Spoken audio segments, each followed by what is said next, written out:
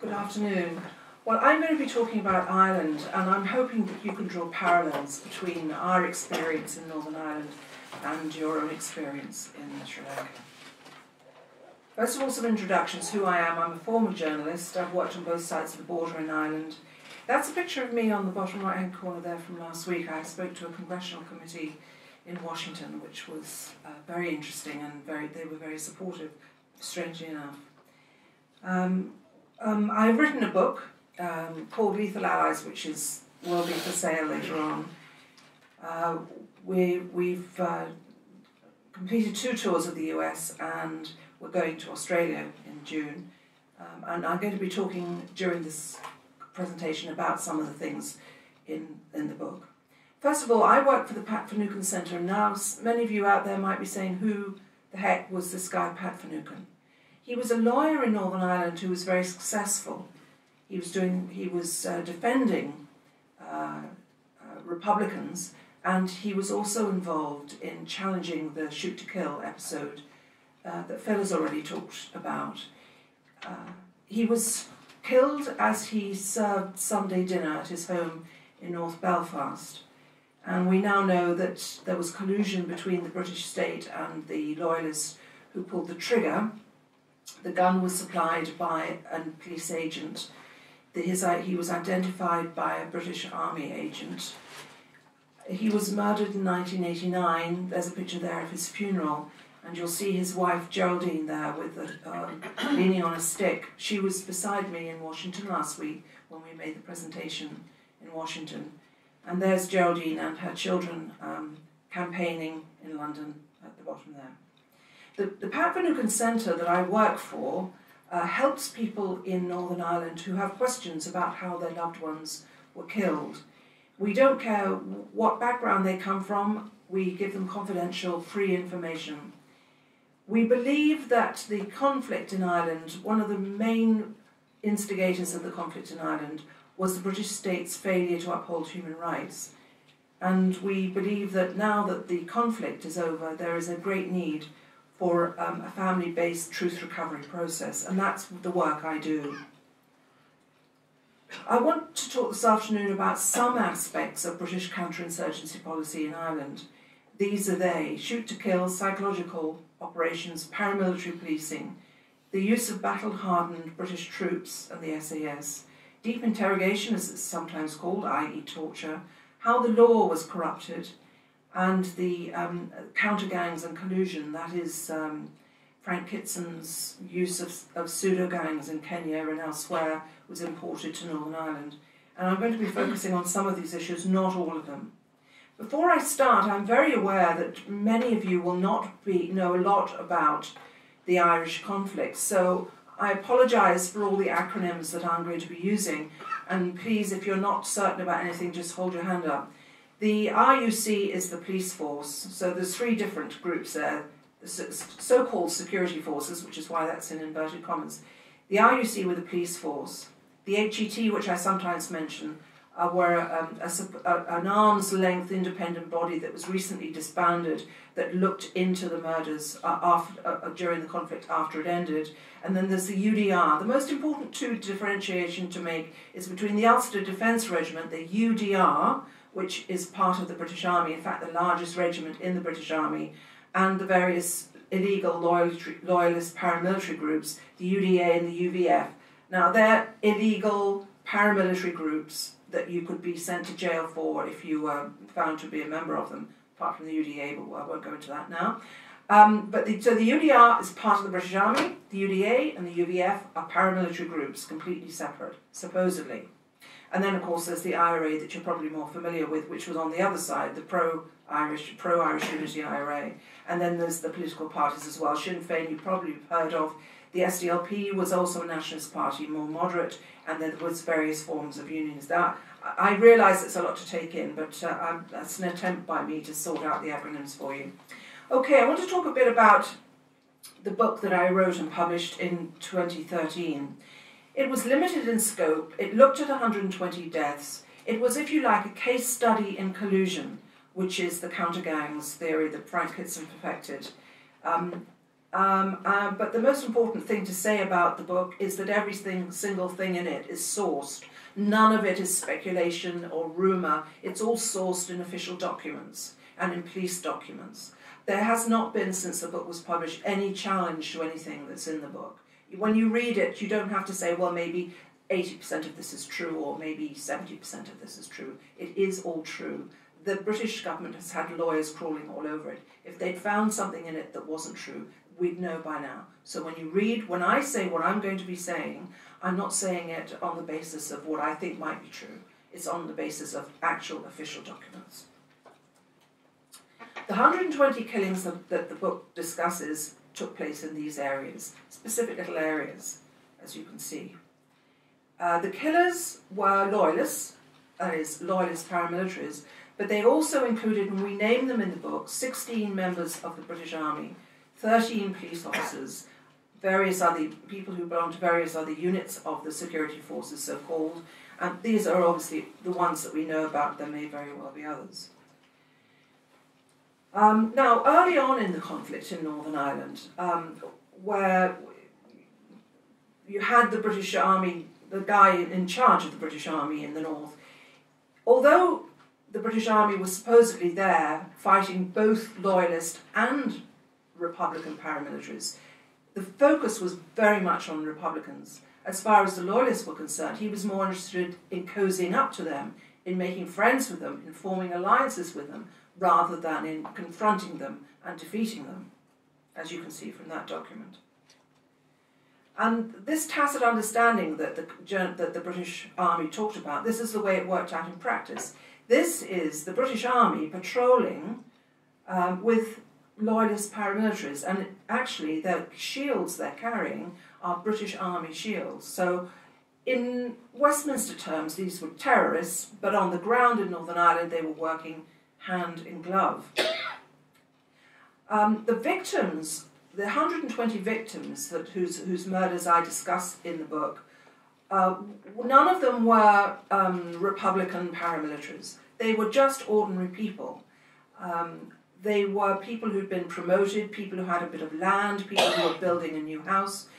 Um, and none of them were active Republican paramilitaries. There was one, but apart from that one, everybody, all the other people who were killed were ordinary Joes. They weren't active in any um, military way, or even, most of them, any political way. And if they did have any contacts with politics, they were contacts with the moderate SDLP. So, um, although that changed later on in the conflict, those were the people who were killed in the 1970s in the murder triangle, so called. Now, this is the first official document I'm going to show you. London created the Ulster Defence Regiment, which became the largest regiment in the British Army. And when they created it, they knew, even as they were creating it, that this would attract loyalist paramilitaries to join. So loyalists would join and they would become trained and they would have access to weapons. Um, so here we have in June 90 and uh, July 1972 the British Army letter to another. This is an internal British Army document that says it's inevitable that members, loyalist paramilitaries will join the UDA, but knowing it was inevitable didn't stop them creating this regiment and training and arming one side in the conflict. That is the pro British side.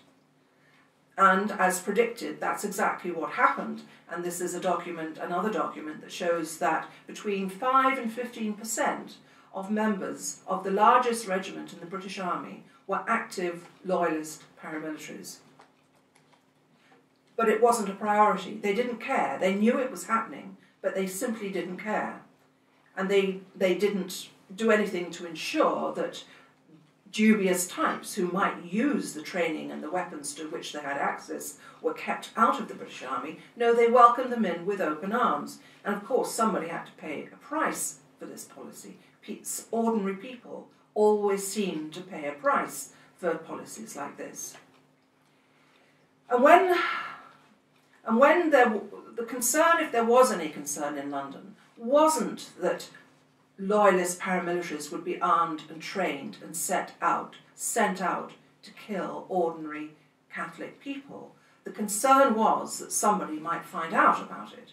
So there we have a report here that um, it, there was concern that this might become public knowledge. This information was kept from the public, deliberately kept from the public. And this is the result, this is the outworkings of a policy of allowing loyalist paramilitaries and encouraging them to become trained and armed. You have horrendous bombings like the one that took place in Dublin and Monaghan, the largest single day of carnage in the entire 35 history of the Northern Ireland conflict was in Dublin and Monaghan. We know that at least three members of the British Army were involved, and probably more.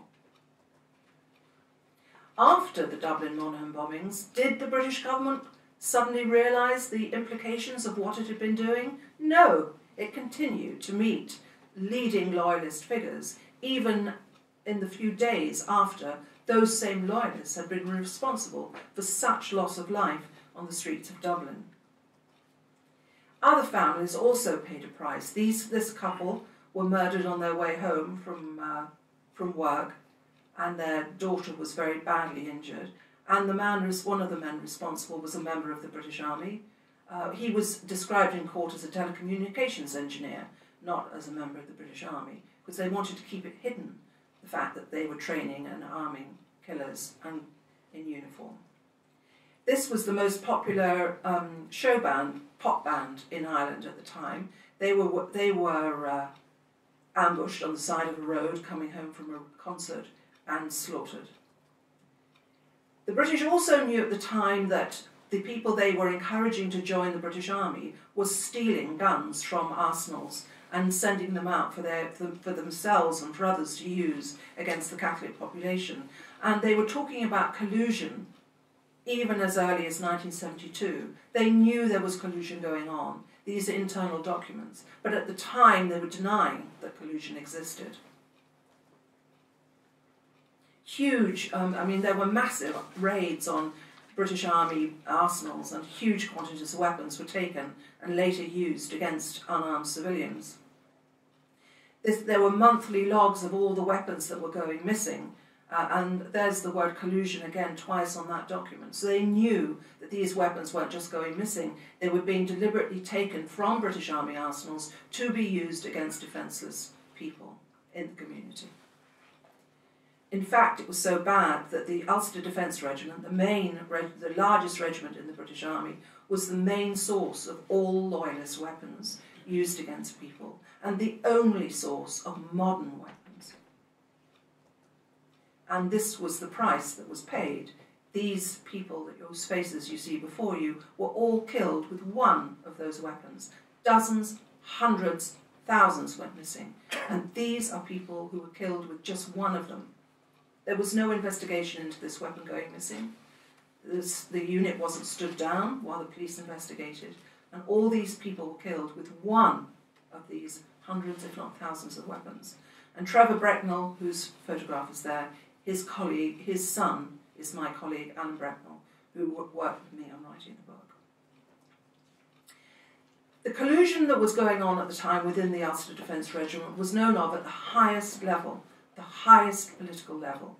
We found this document in the files at Kew that shows that when Harold Wilson, who was then British Prime Minister, um, wanted to brief Margaret Thatcher, who'd just been elected leader of the British Conservative Party, and they, they had a meeting together with Merlin Rees, who was um, Harold Wilson's Secretary of State for Northern Ireland. Um, the uh, Rees uh, briefed those present, including Mrs. Thatcher, who went on, of course, to become Prime Minister. There were certain elements in the police who were very close to the UVF, UVF being an illegal paramilitary organisation. And this is Merlin Rees speaking again. The army's, that is the British Army's own judgment is that the Ulster Defence Regiment, that's the largest regiment within the same British Army, were heavily infiltrated by extremist Protestants, i.e., but loyalist paramilitaries. And in a crisis situation, the UDR could not be relied upon to follow orders. So we say that it wasn't a case of just a few rotten apples in Northern Ireland. This was systemic. These were people put in to do a job.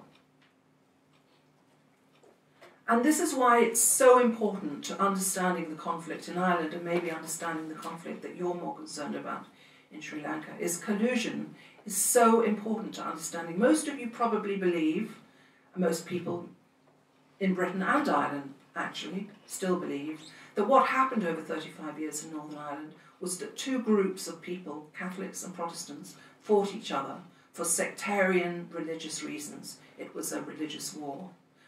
Um, and that Britain, wonderful London, wonderful Westminster, was there to try and keep the peace between these irrational warring tribes. And loyalists and Republicans, Protestant and Catholic paramilitaries, whatever you want to call them, were just as bad as each other. We say that if you accept that collusion was a policy, then you have to look at it in a completely different way, and that is that the, the, the war in the conflict in Northern Ireland was a colonial conflict. It wasn't a sectarian religious war, it was a colonial conflict. So, you might be asking yourselves, well, why, what was in it for London? Why did London support collusion? And we believe that fairly early on in the conflict, London recognised that it was going to be impossible to defeat the IRA by military means. So what they were trying to do was trying to terrorise the whole Catholic population into turning its back on the IRA, into reducing its its political, economic, and social aspirations saying, listen, we better not ask for civil rights, we better not ask for national rights, we better not ask for any contact with Dublin, any constitutional link with Dublin, because if we do, we're going to get killed by these people who are armed within the British Army and sent out to kill us. And did it work? We contend, um, some people will say, well, the British, the British government was facing this dreadful, and they were dreadful, the British government was facing this dreadful threat from the IRA. They were bombing London, they were killing people. It's okay then. They had to use, they had to compromise, they had to blur the lines, and it was okay for them to use collusion and to arm and train one section of the community against another. But we asked, did it save lives? Did it bring the conflict to an end any closer? And we say that it most certainly did not. Not only was it unethical and illegal, it also was totally ineffective as a policy.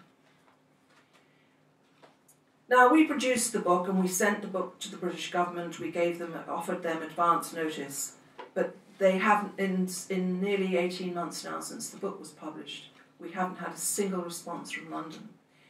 We reckon if they had anything to say, they would have said it by now.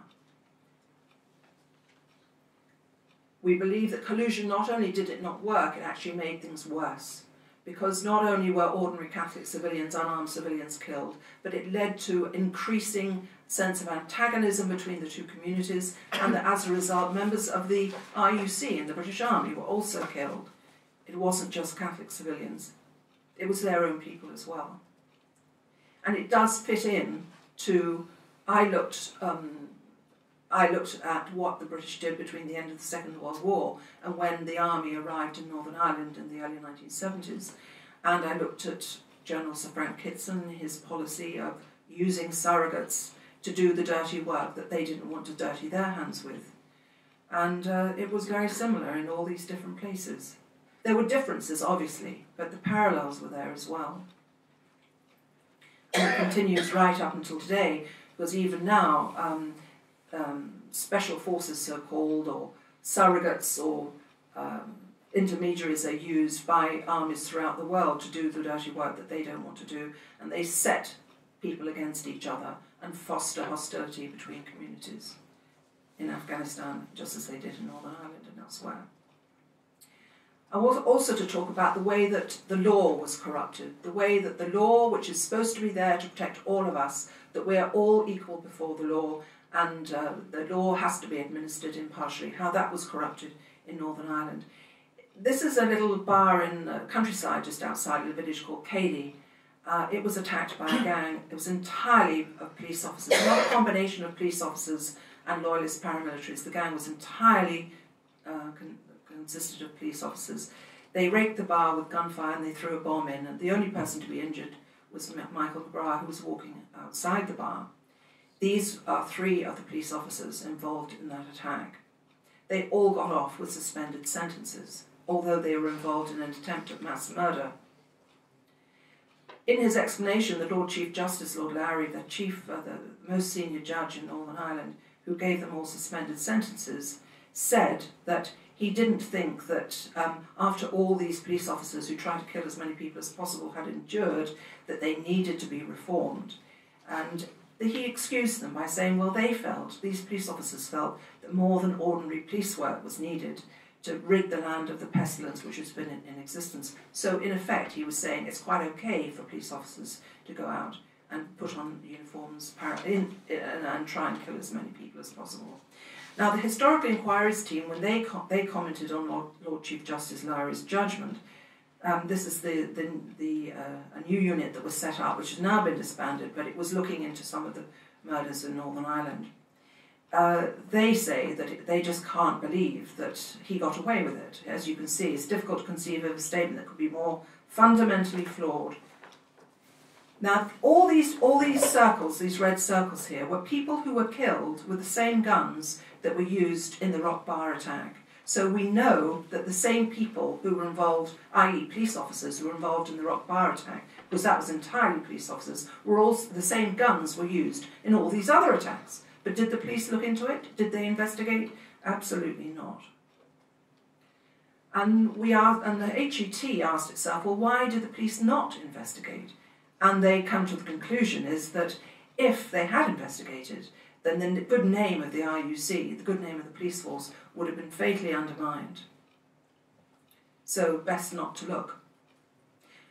Now, the law should work inasmuch as much as the police are meant to gather evidence, they present the evidence to the DPP, who decides whether there's sufficient evidence to bring charges, and then charges are brought, and then people go to court, and the judge, judge and jury decide guilt or innocence. That's how it should work. But in fact, during the conflict in Northern Ireland, we found documents that show that very early on, the British Army was concerned that soldiers might face charges of using lethal force, i.e., killing people, murdering people. So they came to a sort of little secret deal between themselves that um, that whenever a, a, British soldier was charged with um, wrongful use of violence or lethal force or murder, that they would review it between them, so that um, so that he didn't necessarily have to face any charges. And the outcome of those special arrangements is that although 350 people were directly killed by British soldiers, and many more were killed in collusion between British soldiers and loyalist paramilitaries, no cop was ever convicted of murder during the entire conflict, and only four soldiers were ever convicted of murder, and all went, were released within five years and all went back to join their regiments. So the law was well and truly corrupted. Short, short uh, conclusion. Talking about policing, um, hardened British Army units who would have been, which have been used in other parts and other colonial conflicts were drafted into Northern Ireland and basically let run, including the SAS, the Parachute Regiment that was involved in Bloody Sunday, and various other regiments, including the Argyll and Sutherland Highlanders, who I'm going to talk about a bit. Now, the SAS arrived in Ireland they were there already before 1976, but they were moved in in January 1976 officially. They were already undercover, um, involved deeply, but they were brought in officially in January 1976. And they were sent straight to South Armagh from Dhofar in the Middle East. And the an, another group of people that were sent in to keep the peace, allegedly, were the Argyll and Sutherland Highlanders, who had served in Aden whose regimental commander was Mad Mitch, with a kind of gung ho, let's go out and kill a mentality. Um, and then, of course, they were involved in killing people in Northern Ireland as well. Uh, they arrived, they arrived, I suppose, and they were battle hardened from from out out um, from killing people in outright warfare in Aden, and they used the same tactics when they arrived in Northern Ireland the same sort of human rights abuses that they had conflicted on the people in Aden. Uh, it wasn't. I, it wasn't quite as bad when they, they, they got away with more in Aden. It's easier to kill people wholesale in a far flung part of the empire than it is to kill people in Ireland, but nevertheless, they obviously felt they had carte blanche. Um, when the Argyll and Sutherland Highlanders arrived, for example, in County Fermanagh, they carried out a very brutal double murder in the area, and uh, they both they they that's that was they were convicted for that. It was uh, quite amusing, really. But when they first, when the soldiers first arrived in Ireland from Aden, and there was a riot on the Falls Road in West Belfast, they unfurled a banner on the Falls Road telling people to go home and not to riot, and the banner was in Arabic. Mm. And of course, the people in the Falls Road couldn't really understand much Arabic. Um,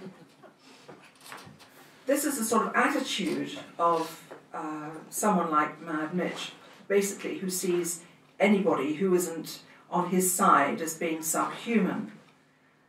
Um, and has no concept whatsoever of proper policing or human rights. A very, very blunt instrument. And this again is Brian Beatty that, uh, that Phil was talking about. He had a, a pedigree elsewhere in the world before he arrived in Northern Ireland. Um, and he had he was forced at one point to go down to Dublin and try and explain why his members, his men, had crossed over into the border with the South and he told the court in Dublin this was a map reading error, which caused a lot of hilarity, as you can imagine. These SAS men didn't know where they were. Changing, uh, changing the subject now until torture. Um, torture is unique in international law because there is never a derogation for torture. Torture is never officially um, allowed, ever, and there is no derogation permitted, and there's no statute of limitations. So uh, it's not a question you can say, oh, well, that was so many years ago. Uh, you don't have to, you can't be charged. It's, uh, it's regarded as seriously as that. Torture is never, ever, ever acceptable, no matter what the provocation, no matter what situation. Torture under international human rights law is never, never acceptable. However, in other parts of the world, the British um, managed to hone this technique where torture didn't leave physical scars. Sometimes it didn't leave physical scars, sometimes it did. And they're having honed these techniques in other parts of the world, they brought them to Northern Ireland. And as you've seen from Phil's presentation, there was hooding, white noise, food and water deprivation, and stress positions. This had a dreadful psychological effect on people. This is a very, this is quite quite amusing. When I was in Kew, uh, looking at the National Archives, I found various documents in which it's claimed that the hooding element of the dis, dis, um, disengagement of the torture was uh, the British said this this chap Colonel Nicholson, who was responsible for for the for the interrogations, he said that the men who were who were being tortured voluntarily put their own hoods on. They voluntarily got the hoods and put them on themselves it's actually there. And of course, I went straight back and asked the people who, were actually tortured, and they said, absolutely not. They never voluntarily put hoods on themselves. It's ridiculous. This is one um, man who was, who was tortured and, and subsequently died as a result. He was arrested on a geographical basis. He lived in part of Northern Ireland that they wanted to find out more about, so they just lifted him because he was from that part of the world, no other reason. He had a heart problem he was medically assessed as unfit for deep interrogation, but he was nevertheless interrogated. His hair turned white within a week. When he was released, he was released straight into the care of a psychiatric unit, such was his mental damage, the mental damage that the torture had caused, and he did eventually die of a heart attack. The Irish government has taken um, took a case against London's use of torture and they were lied to. And as a result of them being lied to, we've turned up uh, documents that show they were lied to. And so they've referred the case back to the European Court of Human Rights. Um, and this is a letter that we found in Kew that shows the, the British were using the word torture even as they were telling people that they weren't torturing, they actually were, and they referred to it as torture. And the international fallout, of course, has been that that ruling by the European Court of Human Rights which was a ruling made on the basis of lies that the British told the court, has been used in every part, in all these different parts of the world to justify the use of torture. So my conclusion is that the British used counter gangs, they corrupted the law, they forced paramilitary policing on the people, they used torture, they used lethal force against civilians, in all right the way through the conflict in Northern Ireland. And we have to ask ourselves is there nothing that our governments won't stoop to? Are there any human rights norms that they won't break? And my answer to that is no, there aren't. Thank you very much.